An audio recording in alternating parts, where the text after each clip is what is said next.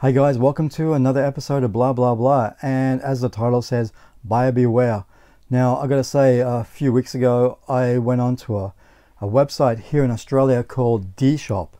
If you're Aussie, maybe you heard of them. I never did before. I was looking for a computer table. I wanted to get rid of this one. Wanted something a bit longer. And I started looking on there. I came across something that I really did like in that photo. If only, you know, I looked at the reviews on that it was really good. If only I would have known to, to, to look on other websites that did reviews, I wouldn't have got this thing. So look, I ordered this thing. It came in the mail. We were out probably until about 5.30 in the afternoon when it did arrive to us.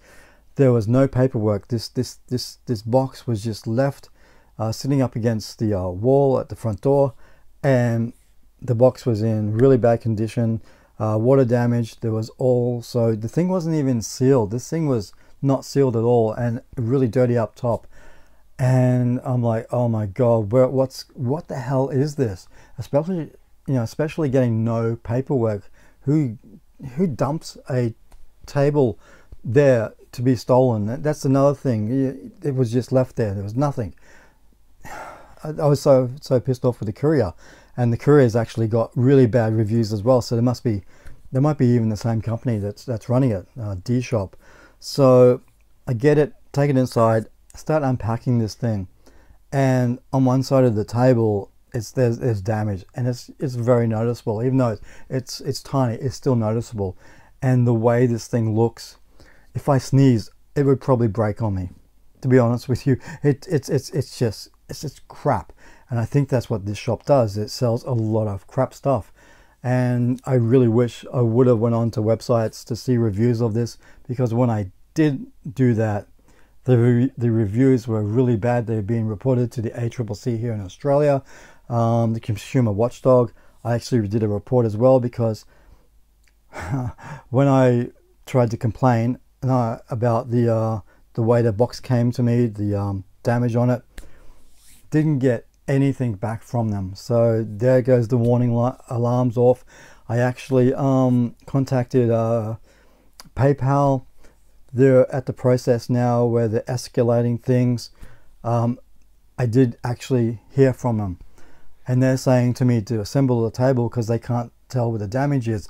I sent off the photos of the damage. I sent off the photos of where it was left and the state it was in.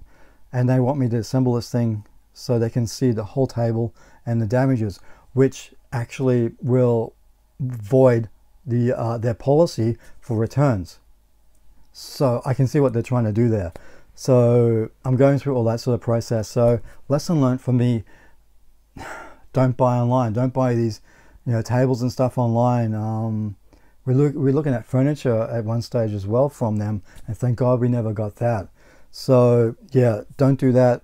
It's just crazy. I need to see the tables in store, not on this online stuff where they can Photoshop the uh, the way things look. And this table was, I couldn't slide this chair into the table. You would have to have a smaller uh, chair to be able to, to fit under the table. It, it, just was ridiculous. It was, it's so tiny, unbelievable. Um, so yeah, not happy with that.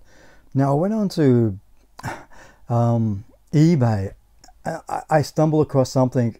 Uh, again, I, I talked about this in the past about some crazy prices for retro games. And guess what? I came across something really, really crazy.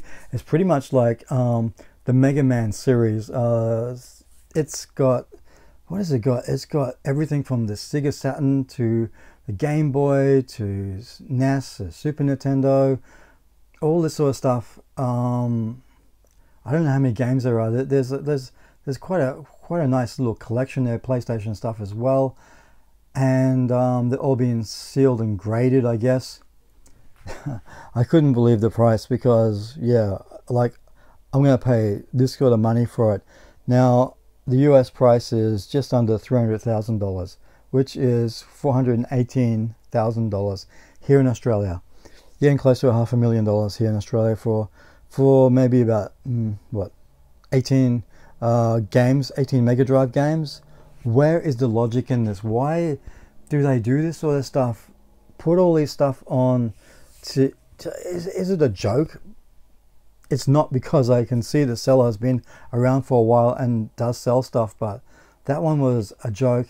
Another one I saw that sparked my interest was this um, Sega Master System, the uh, Mark II, Mark III um, main unit, which is a Japanese unit. It's also got a typewriter there, uh, and the um, the Sega Master System 2, which is the the Sega Master System Mark One. I, I think it is the uh, the one that was originally released here in the in the West. So there's a whole heap of Japanese games there, including Alex Kidd, um, I think Fantasy Zone, a lot of the other stuff I don't know. But again, the price of this thing is $2,520. This just goes to show where we're at with the um, retro gaming scene. It's, just, it's always been high, but this is taking it to the extremes.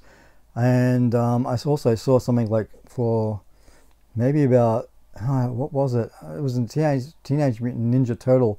Um, there's like 3, 6, 9, 10, about 12, 14 games there. Um, $249,000 US, $346,000 Australian. Yeah, put me down for one of those, please. There, there's a million dollars worth of um, games there, which who in their right mind would pay for um, something like that? But it just goes to show this retro market at the moment and just with the prices of what people think they can get for them. And um, there's no way. And here's another example here. This is that 1990 Nintendo World Championship gold cartridge. Really? Grading is, it's just a gold cartridge. Grading is, is 5, 5.0, uh, 1 million US dollars.